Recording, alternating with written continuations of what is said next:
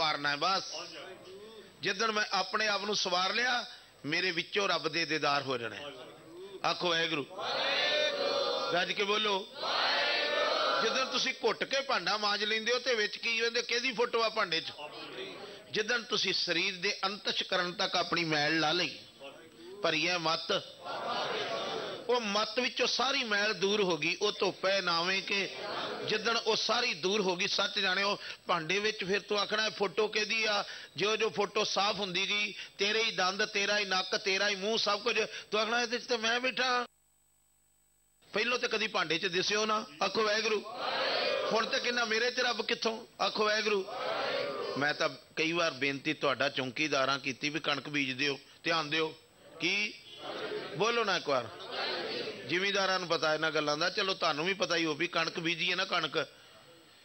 ਤੇ ਜਦੋਂ ਕਣਕ ਦਾ ਦਾਣਾ ਪੈਲੀ 'ਚ ਸੁੱਟੀਦਾ ਹੈ ਤੇ ਆਖੀਦਾ ਇਹ ਦਾਣਾ ਕਣਕ ਦਾ ਹੈ ਕਾਹਦਾ ਜੀ?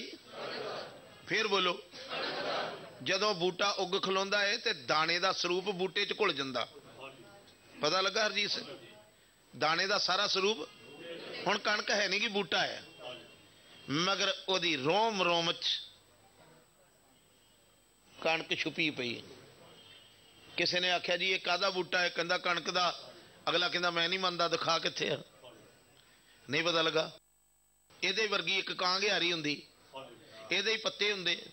ਇਸੇ ਤਰ੍ਹਾਂ ਦਾ ਬੂਟਾ ਹੁੰਦਾ, ਉਹਨੂੰ ਕਹਿੰਦੇ ਕਾਂਗਿਆਰੀ ਇੱਕ ਜਵੀ ਹੁੰਦੀ, ਉਹਦੇ ਬੂਟੇ ਵੀ ਇਹਦੇ ਵਰਗੇ ਹੁੰਦੇ। ਮੈਂ ਨਹੀਂ ਮੰਨਦਾ ਵੀ ਇਹ ਕਣਕ ਦਾ ਬੂਟਾ ਹੈ।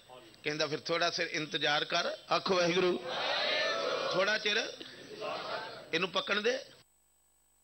ਜਦੋਂ ਪੱਕ ਜੂਗਾ ਫਿਰ ਇਹਦਾ ਸਿੱਟਾ ਫੋਲ ਕੇ ਵੇਖੀ ਵਿੱਚੋਂ ਕੀ ਨਿਕਲਦਾ ਹੈ? ਹੁਣ ਤੁਹਾਡੇ ਸਰੀਰ ਦੇ ਰੋਮ ਰੋਮ ਚ ਵਸਿਆ ਪਿਆ, ਰੋਮ ਰੋਮ ਹੈ ਵਸੇ ਮੁਰਾਰ। ਰੋਮ ਰੋਮ ਹੈ? ਮਗਰ ਕੋਈ ਕਹਿੰਦਾ, ਮੈਂ ਨਹੀਂ ਮੰਨਦਾ, ਇਹ ਬੰਦੇ 'ਚ ਰੱਬ ਬੈਠਾ ਹੈ। ਜਿੱਦਣ ਕਿਸੇ ਦੀ ਬੰਦਗੀ ਪੱਕਦੀ ਨਹੀਂ ਪਤਾ ਲੱਗਾ? ਜਿੱਦਣ ਕਿਸੇ ਦਾ ਅਕੀਦਾ ਪੱਕਦਾ ਹੈ, ਕਿਸੇ ਦਾ ਭਰੋਸਾ ਪੱਕਦਾ ਹੈ, ਤੇ ਬਾਬੇ ਕਬੀਰ ਨੇ ਕਿਹਾ, ਤੂੰ ਹੀ ਕਬੀਰ ਤੂੰ, ਤੇਰਾ ਨਾਮ ਕਬੀਰ। ਕਬੀਰ ਜਾਂ ਕੋ ਖੋਜਤੇ ਪਾਇਓ ਸੋਈ ਠੌਰ। ਆਖਿਆ ਜੀ, ਕਿੱਥੋਂ ਮਿਲਿਆ? ਕਹਿੰਦਾ, ਸੋਈ ਫਿਰ ਕੇ ਤੂੰ ਭਿਆ ਜਾ ਕੋ ਕੀਤਾ ਹੋਰ ਐਵੇਂ ਚੱਕਰਾਂ 'ਚ ਪਿਆ। ਹਮਰਾ ਠਾਕੁਰ, ਇੱਕ ਮਿੰਟ ਵਿੱਚ ਜਿਹਨੇ ਗਿਆਨ ਕਰਾਤਾ, ਸੋ ਪ੍ਰਭ ਦੂਰ ਨਹੀਂ। ਬੋਲੋ। ਗੱਜ ਕੇ ਬੋਲੋ, ਹਾਂ। ਫਿਰ ਕਿੱਥੇ ਹੈ ਰੱਬ? ਕਹਿੰਦਾ, ਰੱਬ ਤੂੰ ਹੈ ਮੈਂ ਨਹੀਂ ਕਰਿਆ ਬਾਣੀ। ਰੱਬ? ਉਹ ਬੰਦਿਆ, ਰੱਬ ਨੂੰ ਲੱਭ ਨਾ। ਰੱਬ ਤੂੰ ਹੈ ਆਪਣੇ ਅੰਦਰ ਵੇਖ, ਅੰਦਰ। ਜਿੱਥੇ ਜਿੱਥੇ ਮੈਲ ਆਉਂਦੀ ਆ, ਗੁਰੂ ਦੇ ਸ਼ਬਦ ਰਾਹੀਂ ਮੈਲ ਲਾ, ਵੇਖੀ ਤੈਨੂੰ ਸ਼ੀਸ਼ੇ 'ਚੋਂ ਰੱਬ ਦਿਸਦਾ। ਅੱਜ ਬਾਬਾ ਫਰੀਦ ਇਹੀ ਕਹਿੰਦਾ ਮੈਂ ਨਹੀਂ ਜੇ ਕਹਿ ਰਿਹਾ, ਆਪ ਸਵਾਰੇ, ਲੱਕ ਲੱਕ ਸਿੱਧਾ, ਆਪ ਆਪੇ ਨੂੰ ਸਵਾਰ ਲਾ, ਰਹਿਤ ਚ ਆ ਜਾ, ਜਿੱਥੇ ਤੂੰ ਰਹਿਤ ਜੋ ਵਿਗੜਿਆ, ਰਹਿਤ ਰੱਖਣੀ ਸ਼ੁਰੂ ਕਰ ਦੇ। ਆਖੋ, ਵਾਹਿਗੁਰੂ, ਕਹਿ ਹਾਂ ਮੈਂ ਚਾਰ ਕੁਰੈਤਾਂ ਨਹੀਂ ਕਰਨੀਆਂ, ਕਹਿ ਮੈਂ ਪੰਜ ਕਕਾਰ ਨਹੀਂ ਵਿਸਾਰਨੇ। ਆਖੋ, ਵਾਹਿਗੁਰੂ ਮੈਂ ਪੰਜ ਬਾਣੀਆਂ ਦਾ ਅੰਮ੍ਰਿਤ ਵੇਲੇ ਨਿਤਨੇਮ ਕਰਨਾ ਦੋਵਾਂ ਦਾ ਸ਼ਾਮ ਨੂੰ ਕਰਨਾ, ਅੰਮ੍ਰਿਤ ਵੇਲੇ ਉੱਠ ਕੇ ਘੰਟਾ 2 ਘੰਟੇ ਵਾਹਿਗੁਰੂ ਗੁਰਮੰਤਰ ਦੀ ਧੁਨੀ 'ਚ ਜੁੜਨਾ ਹੈ। ਕੁਝ ਦਿਨਾਂ ਬਾਅਦ ਤੈਨੂੰ ਪਤਾ ਲੱਗ ਜੂ ਵੀ ਤੇਰੇ 'ਚ ਹੀ ਰੱਬ ਬਾਹਰ ਨਹੀਂ। ਮਗਰ ਤੂੰ ਸਵਾਰਦਾ ਨਹੀਂ ਨਾ, ਆਪਣੇ ਆਪ ਨੂੰ ਤੂੰ ਵਿਗੜਿਆ ਹੈ ਨਾ। ਤੂੰ ਆਖੋ ਵਾਹਿਗੁਰੂ, ਇੱਕ ਹੁੰਦਾ ਵਿਗੜਿਆ, ਇੱਕ ਹੁੰਦਾ ਸੌਰਿਆ। ਲੋਕ ਵਿਗੜ ਚੁੱਕੇ ਟੋਪੀਆਂ ਪੈ ਗਈਆਂ ਪੱਗ ਦੀ ਜਗ੍ਹਾ ਤੇ। ਆਖੋ ਵਾਹਿਗੁਰੂ ਦਸਤਾਰ ਦਿੱਤੀ ਸੀ ਕਿ ਗੁਰੂ ਗੋਬਿੰਦ ਸਿੰਘ ਨੇ ਤੇ ਦਸਤਾਰ ਦੇ ਕੇ ਤੇ ਫਿਰ ਇਹ ਤੁਹਾਨੂੰ ਕਿਹੜਾ ਨਵਾਂ ਗੁਰੂ ਮਿਲ ਗਿਆ ਜਿਹਨੇ ਟੋਪੀਆਂ ਦੇਤੀਆਂ ਤੁਹਾਨੂੰ, ਕੈਪ ਦੇ ਦਿੱਤੇ ਤੁਹਾਨੂੰ? ਆਖੋ ਵਾਹਿਗੁਰੂ। ਕਮਾਲ ਦੀ ਗੱਲ ਆ। ਇਹ ਦਿੱਤਾ ਸੀ ਬਾਣਾ ਸਤਿਗੁਰੂ ਨੇ ਸਾਨੂੰ, ਆਖੋ ਵਾਹਿਗੁਰੂ। ਇਹ ਬਾਣਾ ਬਖਸ਼ਿਸ਼ ਕੀਤਾ ਹੈ ਸਾਨੂੰ ਟੋਪੀਆਂ ਵਾਲਾ। ਇਨ ਗਰੀਬ ਸਿੱਖਣ ਕੋ ਦੇਉ ਪਾਤਸ਼ਾਹੀ ਤੁਹਾਨੂੰ ਦਸਤਾਰਾਂ ਬਣਾ ਕੇ ਪਿਛਲੇ ਸਮੇਂ ਦੇ ਵਿੱਚ ਪੱਗ ਕੇਵਲ ਬਾਦਸ਼ਾਹ ਬੰਦਾ ਸੀ। ਆਖੋ ਵਾਹਿਗੁਰੂ। ਤੇ ਜਦੋਂ ਤੁਹਾਡੇ ਨਾਮ ਨਾਲ ਸਿੰਘ ਲਾਤਾ, ਤੇ ਸਿੰਘ ਬਣੇ? ਬਾਦਸ਼ਾਹ। ਜੰਗਲ ਦਾ? ਆ ਇਹ ਧਰਤੀ ਇੱਕ ਬਨਵਾਰੀਆ, ਇਹ ਧਰਤੀ ਇੱਕ ਮਹਾ ਭਿਆਨ ਉਦਿਆਨ। ਭਿਆਨਕ ਜੰਗਲ ਆ ਜਿਹਦੇ ਵਿੱਚ ਤੈਨੂੰ ਆਖਿਆ, ਇਸ ਧਰਤੀ ਮੈਂ ਤੇਰੀ ਸਗਦਾਰੀ। ਜਾਂ ਪੱਗ ਵਾਲਿਆ, ਤੂੰ ਜ਼ਿੰਮੇਵਾਰ ਹੈ ਇਸ ਧਰਤੀ ਦਾ। ਤੈਨੂੰ ਮੈਂ ਪਾਤਸ਼ਾਹ ਬਣਾਇਆ। ਤੁਸੀਂ ਟੋਪੀਆਂ ਪਾ ਲੀਆਂ ਤੁਸਾਂ ਦੀ ਮੈਂ ਤੁਹਾਡਾ ਮਤਲਬ ਇਹ ਨਹੀਂ ਜਿਹੜੇ ਵਿਗੜੇ ਲੋਕ ਆਖੋ ਵਾਹਿਗੁਰੂ। ਜਿਨ੍ਹਾਂ ਦੀ ਸੁਰਤ ਵਿਗੜ ਚੁੱਕੀ, ਫੁੱਟਿਆ ਭਾਂਡਾ ਦੁੱਧ ਦਾ। ਜਿਨ੍ਹਾਂ ਦੀ ਬੁੱਧੀ ਦਾ ਭਾਂਡਾ ਫੁੱਟ ਗਿਆ। ਜਿਹੜੇ ਕਹਿੰਦੇ, ਕੋਈ ਜ਼ਰੂਰਤ ਨਹੀਂ ਜੀ, ਕੋਈ ਗੱਲ ਨਹੀਂ, ਫਿਰ ਬੰਨੇ ਹੋ ਜਾਓ। ਬੰਨੇ ਹੋ ਜਾਓ, ਕੰਮ ਨਿਬੇੜੋ। ਪਿੱਛੇ ਗੁੱਤ ਵੀ ਕਰੀ ਫਿਰਦੇ ਜੇ ਵਾਲਾਂ ਦੀ, ਆਖੋ ਵਾਹਿਗੁਰੂ। ਕੇਸ ਵੀ ਰੱਖੇ ਨੇ ਤੇ ਪਿੱਛੇ ਗੁੱਤ ਵੀ ਕੀਤੀ। ਇੱਕ ਸਰਦਾਰ ਸਾਹਿਬ ਮੇਰੇ ਨਾਲ ਅੰਮ੍ਰਿਤਸਰੋਂ, ਜਲੰਧਰੋਂ ਚੜੇ ਆਖੋ ਵਾਹਿਗੁਰੂ। ਤੇ ਸ਼ਾਹਜਹਾਨਪੁਰੇ ਤੱਕ ਆਏ ਧਿਆਨ ਦੇਣਾ ਜਰਾ, ਆਖੋ ਵਾਹਿਗੁਰੂ। ਸ਼ਾਹਜਹਾਨਪੁਰੇ ਤੱਕ ਉਹ ਸਰਦਾਰ ਸਾਹਿਬ ਐਡੇ 7 ਫੁੱਟ ਉੱਚੇ ਲੰਬੇ, ਐਡਾ ਢਿੱਡ, ਸੋਹਣਾ ਛੀਟ ਪਾਈ, ਜੀਨ ਦੀ ਪੈਂਟ ਪਾਈ ਦਾੜੀ ਕਤਰੀ ਤੇ ਸਿਰ ਤੇ ਟੋਪੀ ਪਾਈ। ਸਰਦਾਰ ਜੀ ਨੇ। ਸਰਦਾਰ ਕਹਦਾ ਸੀ? ਚਲੋ, ਵੇਖਣ ਨੂੰ ਉਹ ਆਪਣੇ ਆਪ ਨੂੰ, ਦੇਖ ਆਲੀ ਸਰਦਾਰਾਂ ਵਾਲੀ ਰੱਖੀ ਫਿਰਦਾ। ਹੱਥ 'ਚ ਕੜਾ ਪਾਇਆ। ਅੱਧੀ ਰਾਤ ਹੋਈ ਤੇ ਮੈਂ ਬਾਥਰੂਮ ਕਰਨ ਗਿਆ ਤੇ ਵੇਖਿਆ ਤੇ ਉੱਤੇ ਚਿੜਚਿੜ ਚਿੜਚਿੜ ਚਿੜਚਿੜ ਹੋਵੇ। ਚਿੜਚਿੜ ਚਿੜ ਦਾ ਮਤਲਬ ਵੀ ਲਫਾਫਾ ਖੋਲਿਆ ਉਹਨੇ ਕੋਈ, ਅੱਧੀ ਕ ਰਾਤ 12 ਕੁ ਵਜੇ ਤੇ ਸ਼ਰਾਬ ਪੀਣ ਡਿਆ ਗੱਡੀ 'ਚ। ਉਹ ਉਹ ਜਿਹੜਾ, ਮੈਂ ਆਣ ਕੇ ਆਖਿਆ, ਮੈਂ ਸਰਦਾਰ ਜੀ, ਸ਼ਰਾਬ ਪੀ ਰਹੇ ਹੋ? ਕਹਿੰਦਾ, ਹਾਂਜੀ, ਆਖੋ ਵਾਹਿਗੁਰੂ। ਮੈਂ ਕਿਹਾ, ਕਿਉਂ ਪੀਂਦੇ ਹੋ ਤੁਸੀਂ? ਕਿਉਂ ਗੱਡੀਆਂ 'ਚ ਆਪਣੀ ਬੇਇੱਜ਼ਤੀ ਕਰਾਉਂਦੇ ਹੋ? ਉਹਨੇ ਚਿਰ ਨੂੰ ਨਾ ਉਹਦਾ ਘਰ ਵਾਲੀ ਦਾ ਫੋਨ ਜਲੰਧਰ ਤੋਂ ਆ ਗਿਆ। ਆਖੋ ਵਾਹਿਗੁਰੂ। ਉਹਨੂੰ ਕਹਿੰਦਾ ਆਪਣੇ ਘਰ ਵਾਲੀ ਨੂੰ ਵੀ, ਮਨਜੀਤ ਕੌਰ ਆ ਬਾਬਾ ਜੀ ਇੱਕ ਮੇਰੇ ਨਾਲ ਬੈਠੇ ਆ। ਇਹਨਾਂ ਨੂੰ ਦੱਸ ਮੈਂ ਸ਼ਰਾਬ ਸ਼ੌਕ ਨਾਲ ਨਹੀਂ ਪੀਂਦਾ। ਉਹ ਬੀਬੀ ਰਾਣੀ ਨੇ ਫੜ ਲਿਆ ਵਿਚਾਰੀ ਨੇ ਤਰਲੇ ਪਾਏ। ਬਾਬਾ ਜੀ ਸਾਡੇ ਕਾਫੀ ਸਿੰਘ ਸੀ, ਅਸੀਂ ਪੰਜ ਪਿਆਰੇ ਵੀ ਨਾਲ ਸੀ। ਤੇ ਉਹ ਫਿਰਦੇ ਤੁਰਦੇ ਮੇਰੇ ਫਸਟ ਏਸੀ ਦੇ ਡੱਬੇ ਚੋਂ ਆਉਂਦੇ ਸੀ ਸਿੰਘ। ਹੱਥਾਂ 'ਚ ਕਿਰਪਾਨਾਂ ਫੜੀਆਂ, ਡਰੇ ਵੀ ਵੀ ਇਹ ਕਿਤੇ ਸੇਵਾ ਨਾ ਕਰਨ। ਆਖੋ ਵਾਹਿਗੁਰੂ। ਵੀ ਆਂਦਾ ਇਹਨਾਂ ਨੂੰ ਦੱਸੋ ਵੀ ਮੈਂ ਸ਼ਰਾਬ ਕਿਸ ਕਰਕੇ ਨਹੀਂ ਪੀ ਰਿਹਾ? ਉਹ ਕਹਿੰਦੀ, ਬਾਬਾ ਜੀ, ਇਹ ਸ਼ਰਾਬ ਇਸ ਕਰਕੇ ਨਹੀਂ ਪੀਂਦੇ, ਇਹਨਾਂ ਨੂੰ ਥੋੜੀ ਜੀ ਹਾਰਟ ਦੀ ਬਮ- ਤਕਲੀਫ ਆ। ਮੈਂ ਕਿਹਾ, ਹਾਰਟ ਵਾਲੇ ਨੂੰ ਤੇ ਸ਼ਰਾਬੀ ਵੀ ਮਨਾ ਕਰਦੇ ਆ, ਚਲ ਮੈਂ ਕੀ ਇਹਨੂੰ ਕਹਿਣਾ? ਮੈਂ ਤੇ ਇੰਨਾ ਹੀ ਪੁੱਛਿਆ। ਜਦੋਂ ਸਵੇਰ ਹੋਈ ਤੇ ਸਰਦਾਰ ਜੀ ਉੱਠੇ। ਆਖੋ, ਵਾਹਿਗੁਰੂ। ਤੇ ਟੋਪੀ ਪਾ ਕੇ ਬਾਹਰ ਬਾਥਰੂਮ ਗਏ, ਸਾਫ਼ ਸੁਥਰਾ ਮੂੰਹ ਕਰਕੇ ਆਏ। ਤੇ ਮੈਂ ਕਿਹਾ, ਸਰਦਾਰ ਜੀ, ਕਿੱਥੇ ਚੱਲੇ ਹੋ? ਧਿਆਨ ਦਿਓ ਜਰਾ। ਮੇਰੇ ਕੋਲ ਸਮਾਂ ਨਹੀਂ ਸੀ। ਮੈਂ 2 ਮਿੰਟੇ ਤੁਹਾਡੇ ਲੈਣ ਲੱਗਾ। ਸਰਦਾਰ ਜੀ, ਕਿੱਥੇ ਚੱਲੇ ਹੋ? ਕਹਿੰਦਾ, ਮੈਂ ਧੀ ਨੂੰ ਮਿਲਣ ਚੱਲਿਆ। ਮੈਂ ਕਿਹਾ, ਕਿੱਥੇ? ਕਹਿੰਦੇ, ਸ਼ਾਹਜਹਾਨਪੁਰ। ਮੈਂ ਕਿਹਾ ਜਦੋਂ ਧੀ ਦੀ ਮਿਲਣੀ ਕੀਤੀ ਸੀ ਉਹ। ਨਹੀਂ ਪਤਾ ਲੱਗਾ। ਧੀ ਦਾ ਆਨੰਦ ਕਾਰਜ ਕੀਤਾ ਤੇ ਮਿਲਣੀ ਕੀਤੀ ਤੂੰ। ਇੱਧਰ ਧੀ ਦਾ ਪਿਓ ਬਣ ਕੇ ਖਲੋਤਾ, ਅੱਗੇ ਮੁੰਡੇ ਦਾ ਪਿਓ ਖਲੋਤਾ ਹੋਊਗਾ। ਉਦੋਂ ਵੀ ਟੋਪੀ ਪਾ ਕੇ ਕੀਤੀ ਮਿਲਣੀ। ਕਹਿੰਦਾ, ਨਹੀਂ ਜੀ, ਪੱਗ ਬੱਧੀ ਸੀ। ਮੈਂ ਕਿਹਾ, ਅੱਜ ਸਰਦਾਰ ਸਾਹਿਬ ਤੁਹਾਨੂੰ ਸ਼ਰਮ ਨਾ ਆਊਗੀ? ਕੁੜਮਾਂ ਦੇ ਚੱਲੇ ਹੋ ਕੋ ਬੱਚੇ ਹੋ? ਧੌਲੀ ਤੁਹਾਡੀ ਦਾੜੀ, ਚਿੱਟੀ ਤੁਹਾਡੀ ਦਾੜੀ, ਤੇ ਜਦੋਂ ਕੁੜਮਾਂ ਦੇ ਸ਼ਹਿਰ 'ਚ ਟੋਪੀ ਪਾ ਕੇ ਜਾਓਗੇ, ਲੋਕ ਕਹਿਣਗੇ ਦੀ ਪੱਗ ਕਿਨੇ ਖੋਲੀ? ਰੋ ਪਿਆ ਫਿਰ। ਮੇਰੀ ਹਾਂ, ਮੇਰੀ ਅਰਦਾਸ ਕਰੋ। ਅਸੀਂ ਭੁੱਲ ਗਏ ਆ। ਐਸੀ ਸੁਸਾਇਟੀ 'ਚ ਪੈ ਗਏ ਆ ਵੀ ਟੁੱਟਦੇ ਟੁੱਟਦੇ ਰੱਬ ਨਾਲੋਂ ਟੁੱਟ ਗਏ ਆ। ਮੈਂ ਕਿਹਾ, ਇੱਕ ਗੱਲ ਹੁਣ ਮੈਨੂੰ ਦੱਸ ਜਿੱਦਨ ਦਾ ਰੱਬ ਨਾਲੋਂ ਟੁੱਟਾ ਸੁਖੀ ਕਿੰਨਾ ਕੇ ਭੁੱਬਾ ਮਾਰ ਕੇ ਰੋਇਆ ਜੀ, ਕੋਈ ਬੱਚੇ ਰੋਂਦੇ। ਕੌਣ ਆ ਜਿਹੜਾ ਰੱਬ ਨਾਲੋਂ ਟੁੱਟ ਕੇ ਸੁਖੀ ਹੋ? ਸਕਦਾ ਕੋਈ? ਬੋਲੋ ਨਾ, ਪਰਮੇਸ਼ਰ ਤੇ ਭੁੱਲਿਆ ਬਿਮਾਰੀ ਚੋਂ ਬਿਮਾਰੀ ਬਿਮਾਰੀ ਚੋਂ ਬਿਮਾਰੀ, ਪ੍ਰੋਬਲਮ ਚੋਂ ਪ੍ਰੋਬਲਮ ਪ੍ਰੋਬਲਮ ਚੋਂ ਪ੍ਰੋਬਲਮ ਵਿੱਚੋਂ ਦੇ ਖੜੀਆਂ ਹੁੰਦੀਆਂ ਜਾਂਦੀਆਂ ਜਿਹੜੇ ਲੋਕੀ ਰੱਬ ਤੋਂ ਟੁੱਟ ਗਏ। ਰੱਬ ਨਾਲੋਂ ਟੁੱਟ ਕੇ ਵੀ ਕੋਈ ਸੁਖੀ ਹਰ ਬਿਸਰਤ ਸਦਾ। ਫਿਰ ਵੀ ਲੋਕ ਬੰਦੇ ਨਹੀਂ ਬਣਦੇ, ਫਿਰ ਵੀ ਲੋਕ ਆਪਣੇ ਟਿਕਾਣੇ ਤੇ ਨਹੀਂ ਆਉਂਦੇ। ਮੇਰੇ ਸਤਿਗੁਰੂ ਪਾਤਸ਼ਾਹ ਕਹਿੰਦੇ, ਤੂੰ ਆਪਣਾ ਆਪ ਸਵਾਰ, ਮੈਂ ਤੇ ਤੇਰੇ ਵਿੱਚ ਹੀ ਆ ਮੇਰੇ ਦਰਸ਼ਨ ਤੈਨੂੰ ਵਿੱਚੋਂ ਹੀ ਹੋ ਜਾਣੇ ਨੇ। ਤੂੰ ਖੁਦ ਹੀ ਕਹਿਣਾ, ਮੈਂ ਹੀ ਆ ਤੇ ਹਾਂ ਵੀ ਤੂੰ ਹੀ। ਦੂਸਰਾ ਕੋਈ ਨਹੀਂਗਾ ਸਿਰਫ ਤੇਰੇ ਸ਼ੀਸ਼ੇ ਤੇ ਮੈਲ ਪੈ ਗਈ ਆਪ ਸਵਾਰੇ ਬੋਲੋ ਕੀ ਮਿਲੂਗਾ ਮੈਂ ਮੈਂ ਹੀ ਆ ਆ ਮਿਲਣੀ ਮੈਂ ਮਿਲੇ ਨਹੀਂ ਵੀ ਰੱਬ ਨਹੀਂ ਕਹਿ ਰਿਹਾ ਮੈਂ ਰੱਬ ਤਾਂ ਤੇਰੇ ਵਿੱਚ ਉਹਦੀ ਜੋਤ ਆ ਸਭ ਵਿੱਚ ਜੋਤ ਉਹ ਜੋਤ ਨੇ ਆਖਿਆ ਹਾਏ ਹਾਏ ਮੈਂ ਤੇ ਉਹ ਹੀ ਜਗਾਉਂਦਾ ਰਿਹਾ। ਮੇਰੇ ਤੇ ਅੰਦਰ ਹੀ ਜੋਤ ਸੀ। ਤਿਸ ਦੇ ਚਾਨਣ। ਉਹ ਬੁੱਝ ਵੀ ਜਾਊਗੀ, ਤਾਂ ਵੀ ਉਹਦੀ ਜੋਤ ਤੁਹਾਨੂੰ ਦਿਖਾਊਗੀ। ਗਲੀ ਕਿੱਧਰ ਨੂੰ ਜਾਂਦੀ? ਜੇ ਇਹ ਜੋਤ ਬੁੱਝ ਜਾਵੇ, ਆਖੋ ਵਾਹਿਗੁਰੂ, ਜਿਹੜੀਆਂ ਜੋਤਾਂ ਜਗੀਆਂ ਨੇ ਗੁਰਦੁਆਰੇ, ਜੇ ਇਹ ਬੁੱਝ ਵੀ ਜਾਣ, ਕਮਾਲ ਦੀ ਗੱਲ ਮੈਂ ਤੇ ਕਈ ਵਾਰ ਬੇਨਤੀ ਕਰਦਾ, ਤੁਸੀਂ ਕਹੋਗੇ ਤੂੰ ਜੋਤਾਂ ਦੇ ਪਿੱਛੇ ਪਿਆ ਰਹਿਣਾ ਹੈ ਇਹ ਆ ਜਾਗਦੀ ਜੋਤ ਦਾ ਘਰ। ਇਹ ਜਿਹੜਾ ਲੋਕਾਂ ਦੀਆਂ ਜੋਤਾਂ ਜਗਾਉਣ ਡਿਆ, ਤੁਸੀਂ ਇਹਦੇ ਘਰ 'ਚ ਵੀ ਜੋਤਾਂ ਜਗਾਈ ਜਾਂਦੇ ਹੋ। ਲੋਕੋ ਗੁਰੂ ਦੀ ਮੱਤ ਲਓ ਗੁਰੂ ਦੀ ਮੱਤ ਅਨਸਾਰ ਜ਼ਿੰਦਗੀ ਬਤੀਤ ਕਰੋ। ਮੇਰਾ ਕੋਈ ਵੈਰ ਨਹੀਂ ਇਹਨਾਂ ਗੱਲਾਂ ਨਾਲ ਮਗਰ ਮੈਂ ਕੁੱਤਾ ਵਾਂ ਗੁਰੂ ਨਾਨਕ ਪਾਤਸ਼ਾਹ ਦੇ ਘਰ ਦਾ ਮੈਨੂੰ ਟੁੱਕੜ ਮਿਲਦਾ ਏ। ਮੈਂ ਜਵਾਬ ਦੇਣਾ ਨਿਰੰਕਾਰ ਦੇ ਘਰ 'ਚ ਵੀ ਪ੍ਰਚਾਰ ਕੀ ਕਰਦਾ ਸੇ? ਜੋਤਾਂ ਸਾਡਾ ਅੰਗ ਨਹੀਂ ਸਾਡੇ ਘਰ ਸ਼ਬਦ ਦੀ ਸ਼ਬਦ ਦੀਪਕ ਬੋਲੋ। ਫੇਰ ਬੋਲੋ। ਵਰਤੇ ਤਿਉ ਲੋਏ ਵਰਤੇ ਤਿੰਨਾਂ ਲੋਕਾਂ ਵਿੱਚ ਸ਼ਬਦੀ ਜੋਤ ਜਗ ਰਹੀ ਹੈ ਜਿਹੜੀ ਲੋਕਾਂ ਨੂੰ ਚਾਨਣ ਵੰਡ ਰਹੀ। ਤਿਸ ਦੇ ਚਾਨਣ ਸਭ ਮੈਂ ਚਾਨਣ। ਸਾਰੀ ਸ੍ਰਿਸ਼ਟੀ ਵਿੱਚ ਸਰਬ ਭੂਤ ਆਪ ਵਰਤਾਰਾ, ਸਰਬ ਨੈਣ ਆਪ। ਜਿੱਦਣ ਜੋਤ ਬੁੱਝ ਗਈ, ਅੱਖਾਂ ਖੁੱਲੀਆਂ ਹੋਣੀਆਂ ਨੇ। ਮਗਰ ਦਿਸਣਾ ਨਹੀਂ। ਇਹ ਜੋਤ ਕਰਕੇ ਸਾਰੀ ਸ੍ਰਿਸ਼ਟੀ ਦਾ ਚਾਨਣ ਹੋ ਰਿਹਾ ਤੁਹਾਨੂੰ। ਉਹ ਵੇਖੇ। ਉਹ ਤੁਹਾਡੇ ਅੰਦਰ ਜੋਤ ਨਹੀਂ ਵੇਖ ਰਿਹਾ ਹੈ ਸਾਰਿਆਂ ਨੂੰ। ਮਗਰ ਆਪਾਂ ਢੀਠਪੁਣਾ ਇੰਨਾ ਕਰ ਲਿਆ ਹੈ ਵੀ ਅਸੀਂ ਨਹੀਂ ਜੇ ਸਤਿਗੁਰੂ ਹਟਣਾ ਦਰਬਾਰ ਵੀ ਤੇਰੇ ਹੀ ਨਾਂ ਦਾ ਰੱਖਣਾ ਹੈ ਪ੍ਰਕਾਸ਼ ਵੀ ਤੇਰਾ ਹੀ ਕਰਨਾ ਹੈ ਮਗਰ ਤੇਰੀ ਗੱਲ ਨਹੀਂ ਮੰਨਣੀ। ਬਸ ਆ ਜੇ ਗੁਰਦੁਆਰਾ।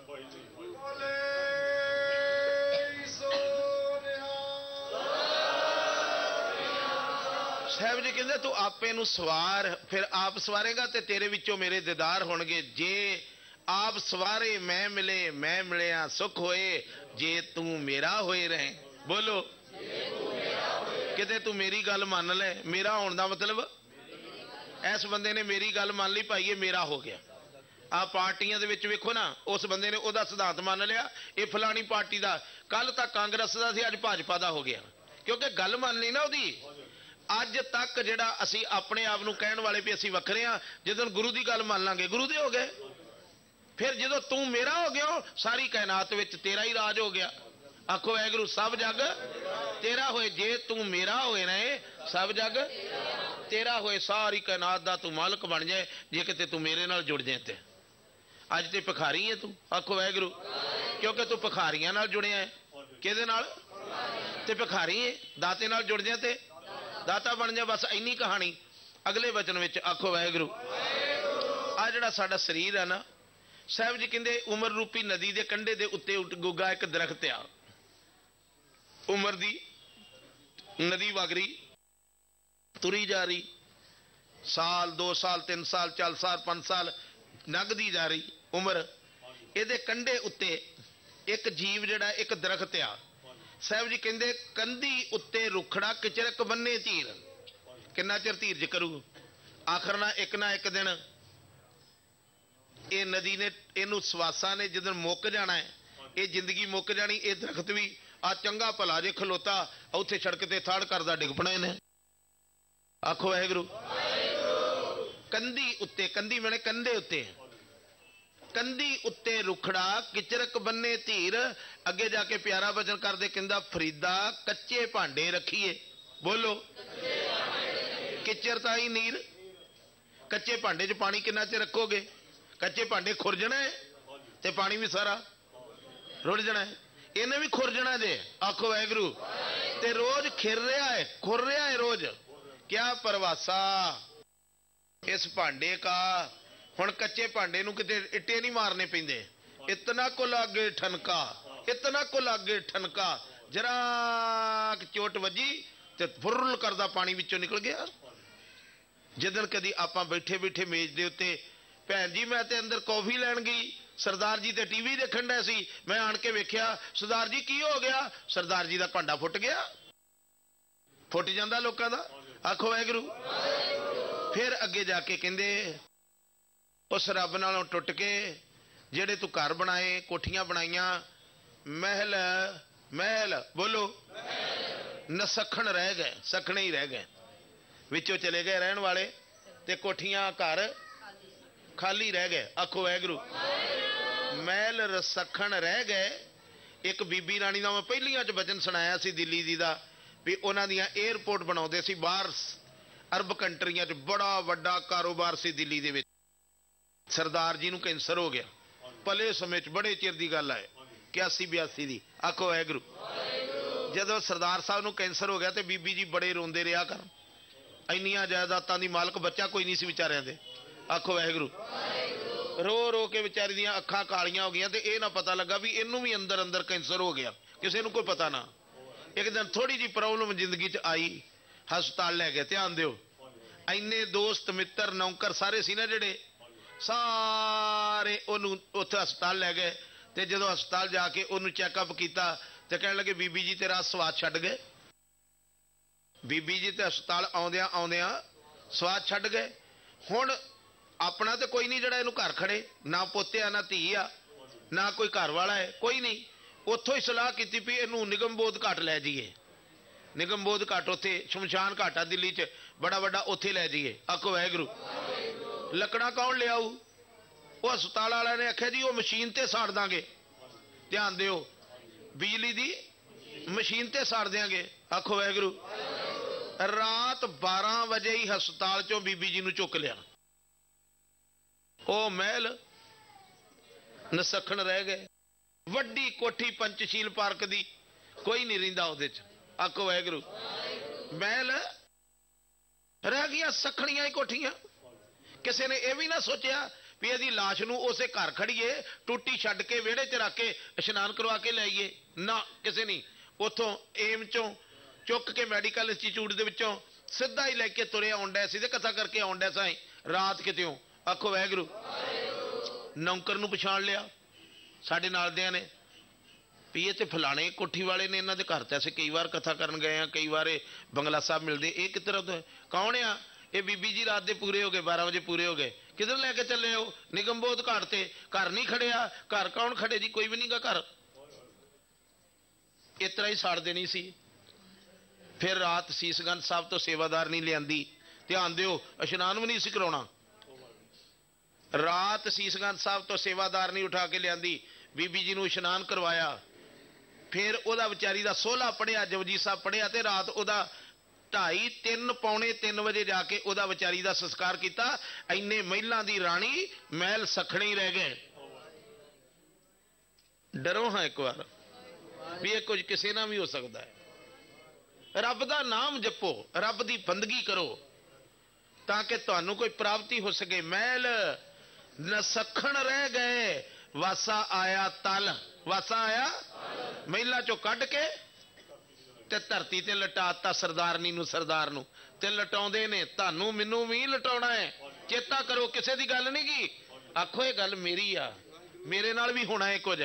ਮੇਰੀ ਇਹ ਜਿੰਦੇ ਜਪ ਲਾ, ਵਾਹਿਗੁਰੂ ਵਾਹਿਗੁਰੂ ਵਾਹਿਗੁਰੂ ਵਾਹਿਗੁਰੂ ਵਾਹਿਗੁਰੂ ਵਾਹਿਗੁਰੂ ਪ੍ਰਵਾਨ